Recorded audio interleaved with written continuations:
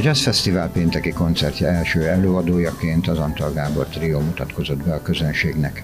A 2016-ban klasszikus és jazzzenei tanulmányokat folytató, vagy éppen befejező fiatal zenészekből alakult, sokszorosan díjnyertes trió, Antal Gábor zongora, Szent Gallai György basszusgitár és Varga Szabolcs dob, mára a magyar zenei élet egyik megkerülhetetlen színfoltjává vált. Én klasszikus zongorát végeztem a Zeneakadémián, tehát a, mi zenénkben abszolút megjelenik mind a klasszikus zene, mind pedig a, a, a jazz zene, hiszen hat éves korom óta párhuzamosan játszom mindkét stílust.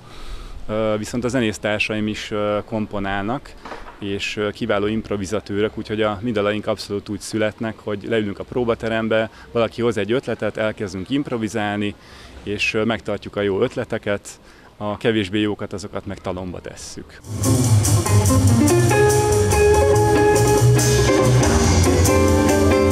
Ezt követően a Gyárfás István trió lépett színpadra az egyik legismertebb magyar jazzgitáros vezetésével, aki három évtizede alapított csapatával meg annyi hazai és külföldi fesztiválon aratott sikert.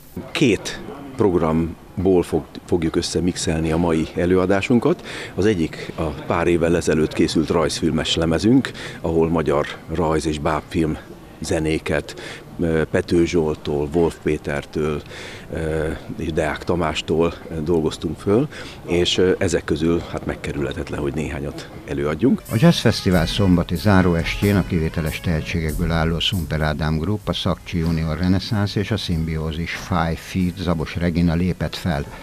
Szumper Ádám otthonról hazajött, hiszen a Hangszintér Művészeti Szakközépiskolában tanult, majd elvégezte a Kőbányai Zenei Stúdiót, hogy aztán következzék a Liszt Ferenc Zeneművészeti Egyetem jazz dob tanszaka.